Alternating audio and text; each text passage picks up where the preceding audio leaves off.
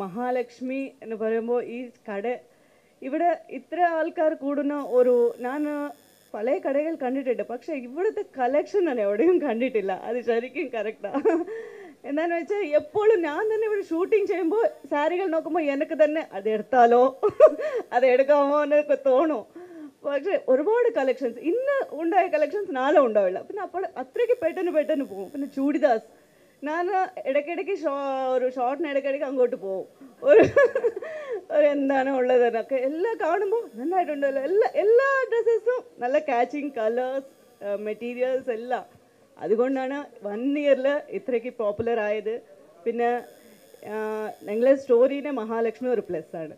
So wish you happy future and എനിക്ക് വളരെ ഇഷ്ടപ്പെട്ട കട മഹാലക്ഷ്മി.